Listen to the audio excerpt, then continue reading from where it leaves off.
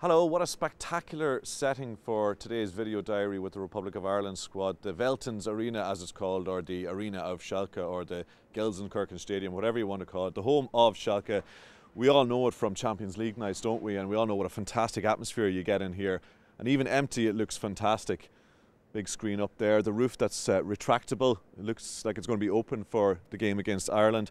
And the pitch down there, you can see the, the referee referee group for tomorrow tomorrow night just having their their pre-match briefing. The pitches can actually be rolled out outside the stadium so that other events can be held here. This is absolutely wonderful arena for Ireland to be playing in. We've just had Martin O'Neill and Robbie Keane doing a, a press conference, a pre-match press conference, and one message came clear from O'Neill.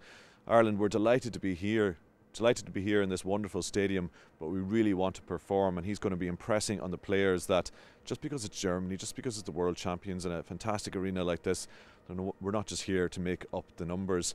Germany lost to Poland though on Saturday, and there's a real sense of with O'Neill that he really wanted Germany to win that game, that maybe Ireland could be the team that could catch Germany on the hop, that post World Cup come down. There's no doubt there's a sense of it.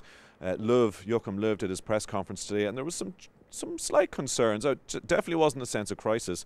A lot of question marks over the full back areas about the lack of striking options. They missed 28 chances against Poland, uh, and also a lack of leadership in the team. They've lost uh, Lahm through retirement, Mertesacker and Klose through retirement also. Schweinsteiger's injured, as is Khedira. So could be an opportunity for Ireland, but you know, for Germany to lose one game was unfortunate.